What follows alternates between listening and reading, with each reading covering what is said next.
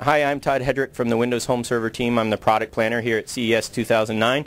I'm just showing you some of the form factors that have been showcased at the Home Server booth. Uh, this is a VIA Artigo A1000. Uh, Windows Home Server uh, runs on this box. It just has a single hard drive. It's a system builder uh, solution, but it's pretty neat for a home server for your dad or mom that you just want to back up their PCs with and not let them know that you're really doing this.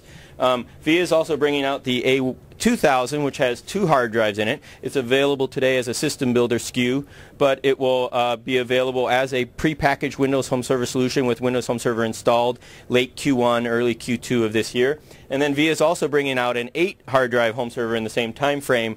Um, once again, home server will be installed on the first drive, and then enthusiasts can add up to seven more uh, drives Acer is bringing out the Aspire Easy Store home server. Once again, the simple removable hard drives where you can just slide hard drives in and out with a drawer, very much like the HP MediaSmart. And they're going to be adding some really interesting software add-ins. Um, once again, this is scheduled for late Q1, early Q2. Um, Tranquil PC out of the UK. This is the Squash home server.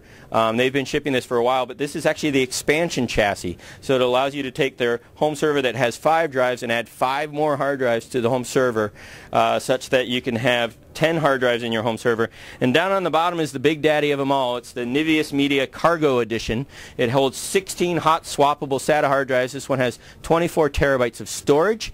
Um, so we go from the little baby to the big gorilla down on the bottom and you can have a home server of any shape or size. And lastly shuttle has a two hard drive bay model and a three hard drive bay model. These are boxes that have been available in the system builder channel for a while.